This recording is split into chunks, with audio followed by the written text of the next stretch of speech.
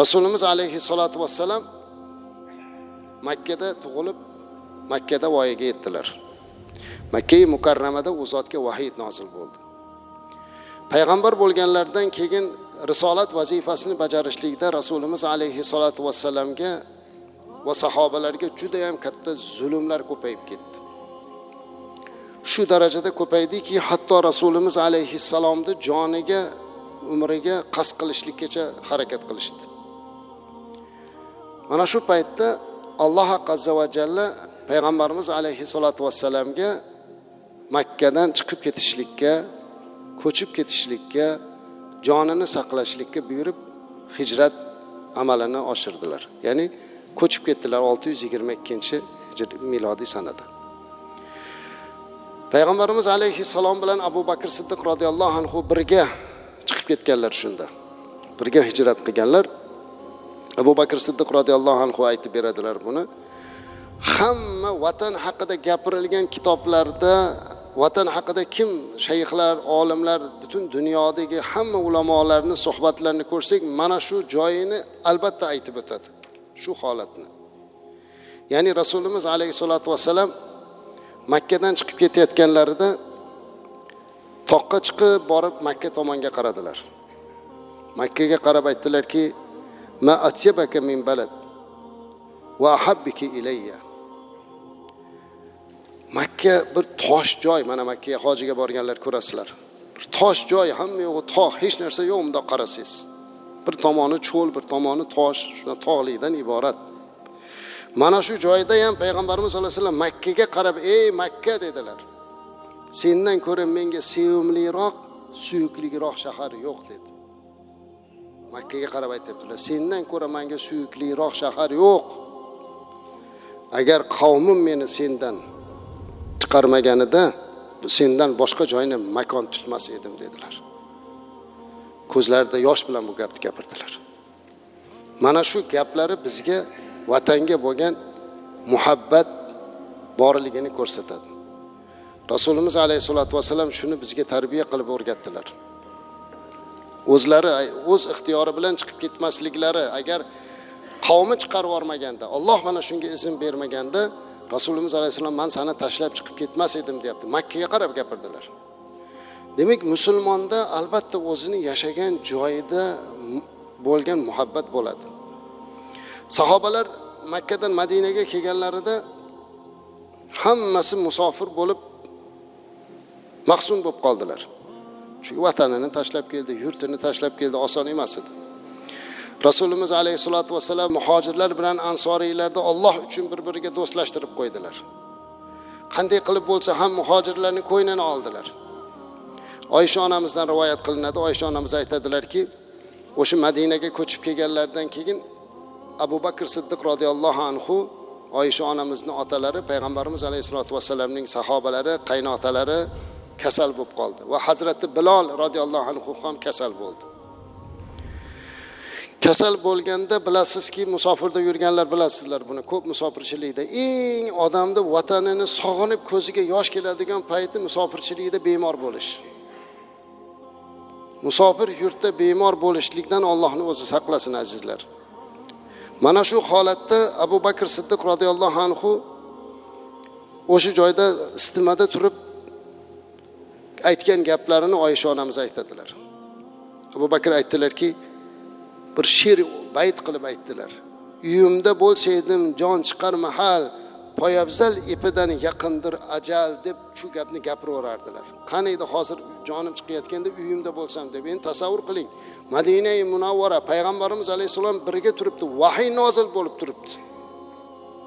Lekin insonni fitrati baribir vatanga intilar ekanda shu holatda turib ham abu bakr siddiq qani edi jon chiqayotgan mahalda uyimda bo'lganimda deb yig'ladilar. Orqasidan hazrati bilol roziyallohu anhu istima kirdi keyin istima pasayibgandan keyin yig'lab turib hazrati bilol taqdirim ne erur bilmasman ey voh boshimga ajaldan kelurmi sipoh?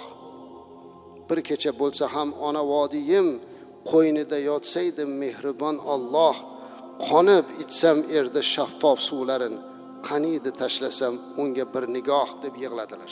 Bu hazrati bilolni gaplari azizlar. Oysha onamiz aytyaptilar. Qarang hazrati bilol roziyallohu anhu birinchi muazzin payg'ambarimiz alayhissalotu vassalam bilan hamsuhbat bo'lib turibdi.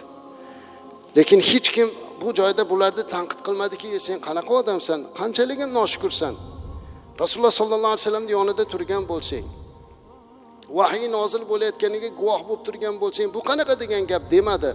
Payg'ambarimiz alayhissalom bu gapni eshitib sahobalarini vataniga yurtiga bo'lgan muhabbatini tabiiy qabul qildilar va orqasidan duo qildilar. Ey robbim mani sahobalarimga vatan makkani suyukli qilganing kabi madinani ham suyukli qilgin deb duo qildilar. Ularni qalbiga madinani muhabbatini joylab qo'ygin madinani ham vatan muhabbatini berib qo'ygin deb duo qildilar. Mana shu duolardan keyin sahobalar madinani yaxshi ko'rib qoldilar. Payg'ambarimiz sollallohu alayhi vasallamning o'zlari ham madinani sevib qoldilar ko'p yaxshi ko'rdilar. Sahobalar aytadilarki payg'ambarimiz alayhissalotu vassalam safardan qaytayotganlarida o'sha madinaga kelishlikda u uzoqdan ko'rganda ot mingan otini yana ham niqtab tezlashtirar ekan shu intilar ekanlar ko'proq sog'inar ekanlar yurtlarini. Mana shundan ko'rib chiqib ulamolarimiz aytadilarki albatta e, vatanni sevish vatanga ehtirom ko'rsatish bu tabiiy holat. Bu hammamizda bor. Albatta buni qadriga musofir bo'lganlar yetarkan vatanidan uzoqda bo'lganlar yetarkan oltinxon to'ram bilasizlar juda ulug' zot bo'lganlar. Mana shu bizni yurtimizdan ketib madina munavvarada uzoq yillar qur'on ilmidan dars berganlar masjidda o'tirib va'z qilganlar. Birinchi bo'lib qur'onni turkiy tafsir tilimizda yozganlar. Oltinxon to'ra hazratlarini turkiy tafsirlari bor endi o'zbek tilida birinchi yozilgan qur'on tafsiri. Mana shu zotni haqlarida madinaga borganimizda o'sha yerdagi hamyurtlar aytib berganlar. Oltinxon to'ra hazratlari qur'ondan tafsir o'qir ekanlar sahobalarga o'qiyotganlarida mana shu jannat sifatlari kelsa ya'ni jannatda o'sha anhorlar oqib turadi mevalar g'arq pishib turadi uzum toklar bo'lib turadi degan gaplarni o'qiganida bir yig'lab olar ekanlar bir yig'lab olar ekanlar shogirdlari bir kuni so'rabdilar ustoz nega qur'onda do'zax haqida kelgan oyatlar kelganda yig'lamaysiz. Boshqa hukm oyatlar kelganda yig'lamaysizda ayni jannat sifatini o'qiganda doim yig'laysiz. Nega bunday qilasiz deganda oltinxon to'ra hazratlari yig'lab turib aytgan ekanlarki qur'ondagi jannat sifatlarini o'qiganda vatanim esimga kelib ketib yig'lab yuboraman degan ekanlar.